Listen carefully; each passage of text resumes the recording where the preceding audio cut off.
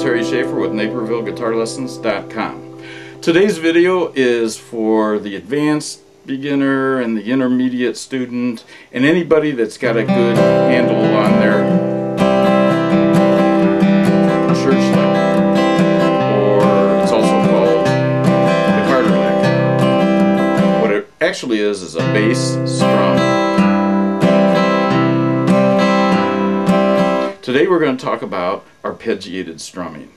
Now an arpeggio means that you play each and every note of the chord.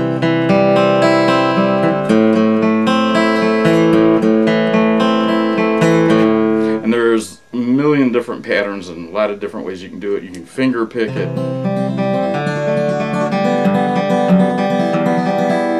Arpeggios have their use and they're a lot of fun. But Today we're going to talk about the arpeggiated strum. And basically what that is, is you play two arpeggiated notes of the chord and then you finish it by strumming. Now what's key to this is having a down, up, down, up rhythm and to keep that going. It's crucial to it in fact. For instance on a C chord, with the C chord I play a down strum on the A string up strum on the D string and then I strum the remaining strings down and then up down up down up down up down up down up. With a D chord it would be a little different down on the D, up on the G string.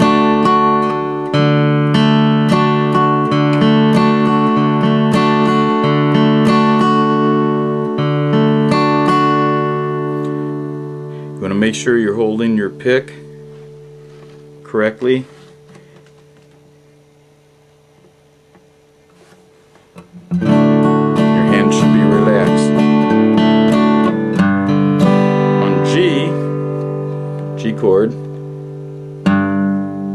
Down on the E string, up on the D string, and strum through.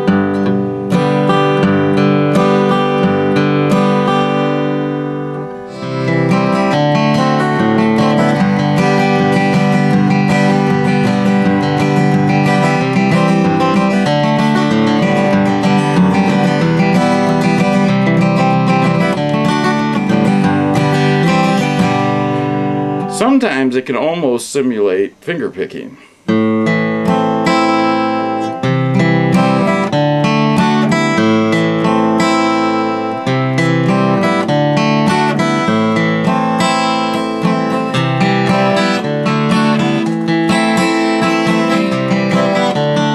like to use it when everybody else is just doing the happy-go-lucky type strumming.